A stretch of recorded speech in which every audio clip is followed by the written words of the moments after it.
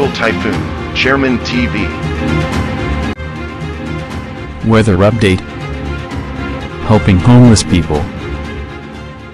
Please subscribe.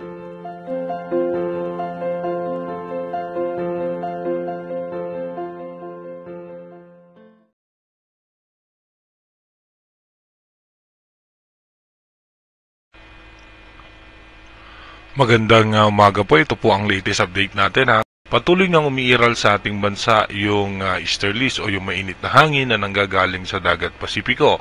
At meron pa nga rin po tayong uh, range of high pressure area na umiiral dito nga sa karagatan ng Japan na nakakaapekto yan hanggang dito nga po no sa may parte ng extreme northern Luzon. At ayon naman po sa historical uh, uh, cyclone ng uh, bagong pag-asa DOST no posible nga na wala o isang bagyo ang uh, posibleng uh, uh, pumasok sa ating uh, bansa at ito'y posibleng magsisimula uh, dito sa may parteng Mindanao or dito nga po sa may uh, parteng uh, Visayas patungong uh, or posible or posible naman na ito'y uh, mag-recurve lang paangat po yan sa may karagatan naman ng Japan. At tayo naman cyclone, tropical cyclone, tropical cyclone, tropical cyclone, tropical cyclone history, no, yung uh, 2022 at 2023 po natin. Nagkaroon po tayo ng uh, bagyo nung 2022, no, dalawang sunod po 'yon ng uh, Abril. At uh, sumunod naman po ay uh, 2023 naman po ng Abril sa ating pumasok sa ating pumasok sa ating pumasok sa ating pumasok sa ating uh, bansa. Kaya kung mapapansin nga po natin dito nga po sa may uh, uh, uh, ng, uh, ng uh, bagong pag-asa DUST, no? ito naman po yung April natin ng 2022 ay uh, dito nga po yung tropical depression sa may parte ng uh, eastern section ng uh, Visayas na si Bagyong Agaton. At uh, sinundan naman po yan ni Basyang na dito po'y pumasok lamang sa ating perlity perlity pero nung 2023 nga po, isang bagyo lamang yung pumasok sa ating bansa ng uh, April, no? Ito naman po ay si bagyong uh, Amang at ito naman ay isang trop na uh, dumirat, uh, dumiretso po yan sa may parte ng uh, Bicol region. Kaya ngayon nga po, no?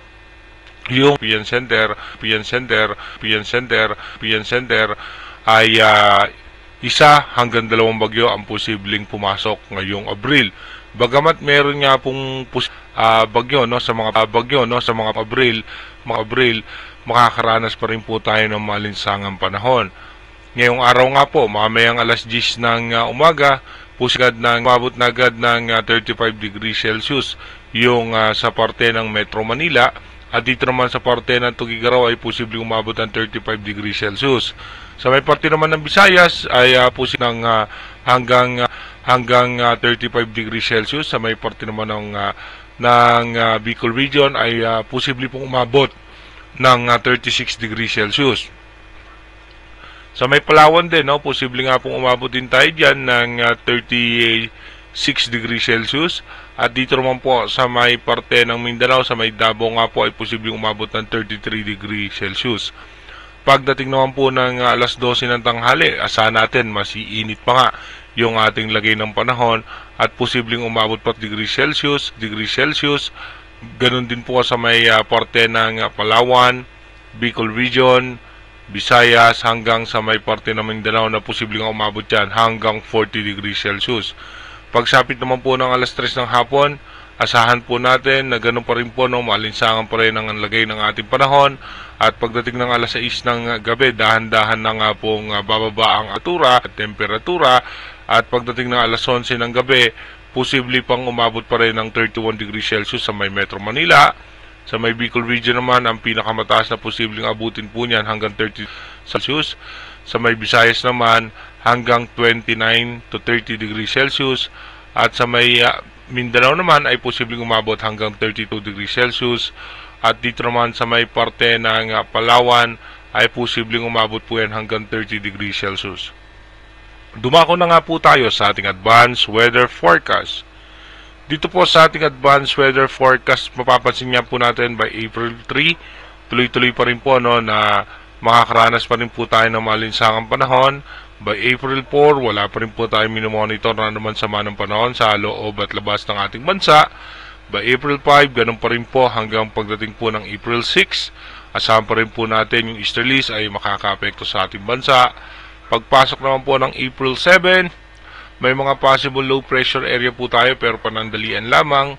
Pagdating naman po ng April 8, no? Dito po magkakaroon ng possible low pressure area sa pagbabanggaan nga nung easterly. Kaya counting, kaya counting pagbugso pa ulit ng uh, northeast monsoon pero hanggang sa may porte lamang yan ng Taiwan. Pagpasok naman ng April 9, dito mapapansin natin magkakaroon ulit ng uh, pagbugso no.